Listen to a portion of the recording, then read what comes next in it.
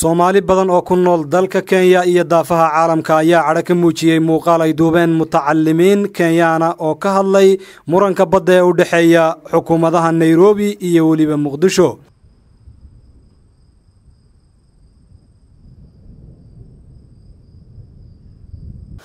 muuqaalkan oo ay soo duubeen arday kenyaana oo jaamacada ka dhigta dibadda ayaa lagu sheegay in soomaaliya ay kaashanayso dalal caddaana oo ay gumaysan rabto waddanka kenya islamarkaasina ay doonayso in ay dhacdo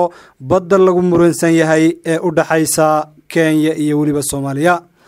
dhallinyarada muuqaalka ku jirta ayaa ku doodaya in haddii maxkamadda caalamiga ah ee cadaaladda adduunku ay go'aamiso in soomaaliya ay leedahay badda lagu muransan yahay in kenya ay gebi ahaanba noqoto dal aan waxbada lahayn.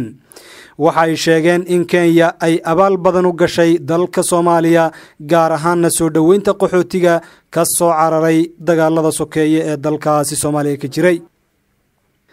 ma oggolaanayno intaa ka ka mid a dhulkeenna la qaato waxaan ku wargelinaynaa walaalaha iyaga soomaalida ah ee aan taageerada siinay ee qaxootinimada ku soo gaadhay ama ku soo gudbay xuduudda kenya iyo soomaaliya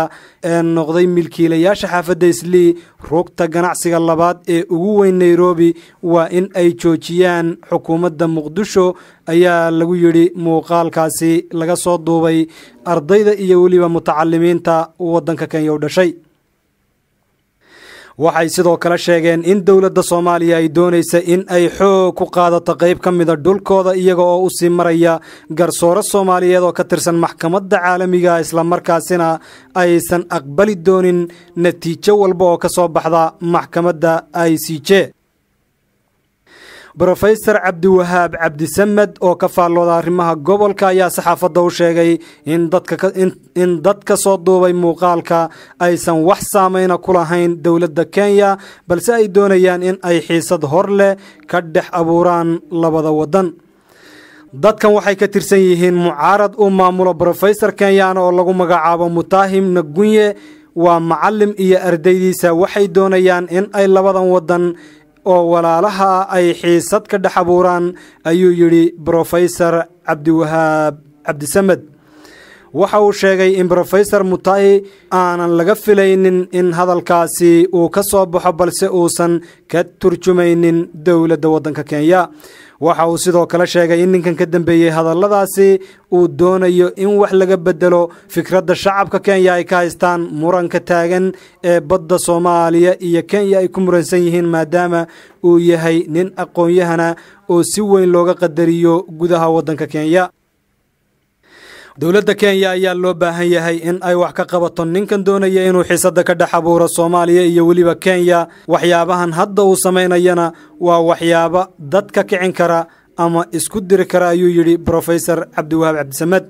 Qaar ka mida dadweynaha isticmaalo baraha bulshada ayaa ka hor yimid hadalka ka soo baxay ardayda mutaahi nagunyi waxayna ku tilmaameen mid lagu qoslo oo ka dhan ah dadka soomaalida. ah kenya ayaa horaan ugu doodaysay in dacwadan ay ka baxsan tahay xeer xayndaabka maxkamadda. Arrintaasi oo ay maxkamaddu ku gacan sayrtay kana dalbatay dalka kenya in ay jawaab ka bixiso eedeymaha ay soomaaliya soo gudbisay. Maxkamadda cadaaladda caalamiga ah ee adduunka i c j ayaa ilaa iyo iminka aanan wax go'aana ka gaarin muranka badda labada waddan balse kenya ayaa dhowr jeer sheegtay in muranka badda ay tahay in labada dal ay qaab wada hadala ku xalliyaan muranka ka dhexeeya ee ku saabsan biyaha badda ee lagu muransan yahay. Dabayaaqada sanadkan aynu ku jiree laba kun iyo sagaal iyo tobanka ayaa lagu wadaa ama lagu ballansan yahay in ay maxkamadda cadaaladda adduunka ee i c j go'aankama dambaysa ka gaadho badda lagu muransan yahay ee u dhexaysa kenya iyo weliba soomaaliya dhanka kale dowladda kenya ayaa qaaday mar kale tallaabo weji gabax ku ah dowladda federaalka soomaaliya. Sida wararku sheegayaan diyaarad siday wafdi ka socday somalilan oo ka soo duulay magaalada hargeysa ayaa toos uga soo degtay garoonka caalamiga ah ee jomo kenyatta ee magaalada nairobi iyagoon soo marin garoonka magaalada wajeer ee lagu baaro diyaaradaha ka soo kici tima gudaha dalka soomaaliya haddii arrintani ay run tahay waxa ay dhabarjab ku tahay guud ahaan ummadda soomaaliyeed gaar ahaanna dowladda federaalka soomaaliya oo aad moodid in muranka badda iyo weliba arrinta kismaayo ka dhacday ay yihiin waxyaabaha sababaya in kenya ay qaado tallaabooyinka caynkan oo kale ah iyadoo aysan jirin dhanka kale wax tallaabo ah oo lid ku ah dalka kenya oo ay qaadayso dowladda soomaaliya kenya ayaa samaynaysa si walba oo ay ku badbaadin karto in maxkamadda caalamiga ee cadaaladda adduunka ee i c j ay badda lagu muransan yahay u xukunto dalka soomaaliya. Waayihii ugu dambeeyey waxaa maalinba maalinta ka dambaysa isa soo tarayey dagaalka diblomaasiyadeed ee ka dhexeeya soomaaliya iyo weliba kenya taas oo sababta ugu weyn lagu sheegay in ay ka dambeysay muranka badda ee u dhexeeya kenya iyo soomaaliya dowladda federaalk ee soomaaliya ayaan ilaa iyo hadda wax wara ka soo saarin tallaabooyinka guracan ee ay qaadayso dowladda dalka kenya. Madaxweynaha dalka maraykanka donald trump ayaa fursad dahabi a u horseeday wiil soomaaliya. Xayiraaddii socdaalka ee madaxweynaha maraykanka donald trump ayaa si guud u saamaysay soomaalida. Dadka arrintaasi saamaysayna waxaa ka mid ahaa dadka ku nool dalka kenya hadalhaynta arrintaasi hadalhaynta arrintaasi ayaa ku badan baraha bulshada. Inta badan dadku waxa ay qabeen rajooyina in ay heli doonaan fursad ay ku tagaan dalkaasi maraykanka.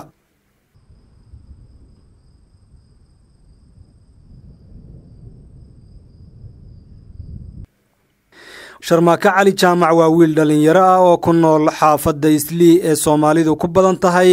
ee magaalada tan nairobi kenya. Waxaa nimid sannadkii laba kun iyo afar iyo tobankii dagaallo ayaa ka jiray dalkayga soomaaliya waxaana imid halkan in aan la midoobo qoyskayga oo aan anigu ugu yarahay aabbahay iyo walaaladay oo jooga dalka maraykanka gaar ahaan gobolka minnesota. Maalintaasi go'aanka xayiraaddu soo baxay waxay ahayd maalin madow sidaasi waxaa saxaafadda u sheegay sharmaake cali jaamac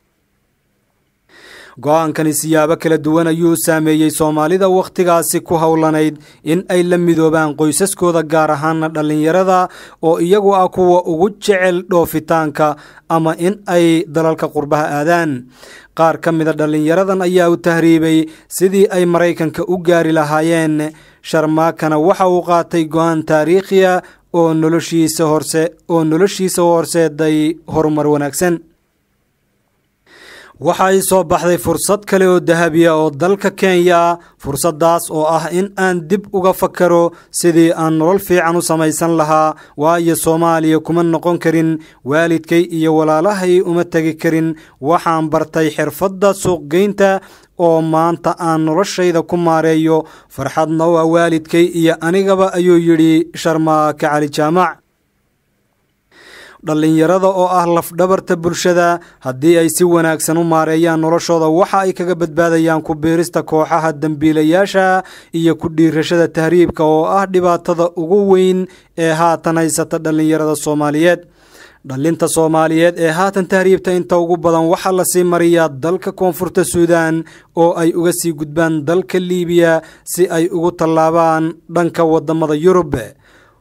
fursaddan uu helay sharmaake waxa ay tusaale wanaagsan u tahay dhallinyarada soomaaliyeed. Haddii aad la timaaddo fikrad ka duwan tan aad ku tahriibayso waxa aad abuuran kartaa nolol ka fiican midda aad ku fakarayso in aad ka helayso waddamada reer galbeedka